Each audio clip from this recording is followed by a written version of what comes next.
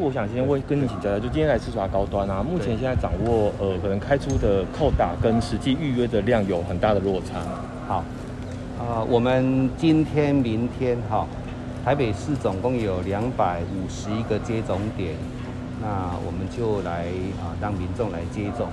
那总共预约是五万零啊九百一十六。啊这个是这两天，因为台北市一天的接种量大概两三万，好，那所以两天就会接种完毕。那同时，今天、明天也是下一波的预约。那下一波预约，今天、明天预约结束之后，预估，呃，中央有先给我们一个预估的量，大约两万。那我们就安排在二十七号来接种，所以等于是这一次，哎，这个。高端的这个疫苗呢，台北市就接种二三二四二七啊三天，那加起来可以到预预计大概七万左右啊，这个是我们这个接种的量。那今天特别来，其实也是感谢我们建成国中哈，因为这一路啊到现在，我们用学校的场地来接种，那也大概告一段落，因为学校马上要开学了。所以今天、明天的接种结束之后，学校就要开始做相关的准备、清销等等，然后准备九月一号的一个开学。所以也特别过来向校长表示感谢。哦，不说现在目前是不是确定用二十八亿元来自购第三季两百五十万剂疫苗？目前有倾向哪个厂牌？跟已经在洽谈当中。是的，我们啊这个月的月底哈就会把啊。这个预算书啊送到议会去审议，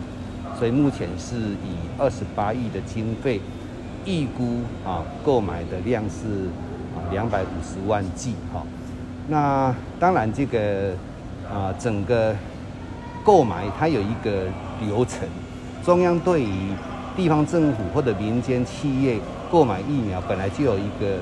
制式的规范的流程。这当中，我们必须要委托药商，然后要准备相关的这些资料，然后再送到啊食药署去做审查。所以我们对这整个流程都啊有经过讨论。所以目前就按照这个程序。当然，现在最重要的是说，预算送到议会之后，能够寻求议员们的支持。那我们是在明年度才会来采购、来执行这一笔预算。我不知道有没有哪个厂牌比较有可能，或者是说技术上，因为像包括腺病毒、mRNA，甚至吃蛋白，有没有哪个是你们觉得会比较倾向的？市长在他本身是专业嘛，是医生，所以我们在内部讨论的时候很清楚的，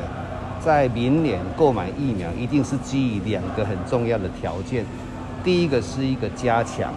也就是说，当国人打过第一剂跟第二剂疫苗之后，那么随着时间。以目前美国、英国、以色列啊，他们他们都已经有这个相关的经验了。大概隔八个月之后，那需要来接种第三剂，所以它是一种加强的效果。那第二个是要因应变种病毒，变种病毒的部分恐怕是啊必须要接种第三剂的很重要的原因。所以我们基于这两个条件，那么会来评估啊什么样的疫苗。比如说 M R，呃，这个啊，啊 M R N A 的疫苗，那或者是，我想这个部分我们一定会做专专专业的判断，再来做决定。对，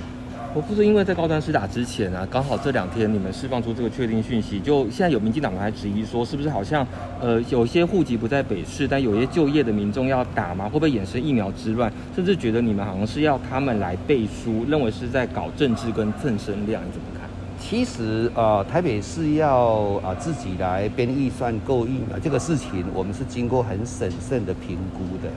那甚至还召开专家的一个会议来做确认，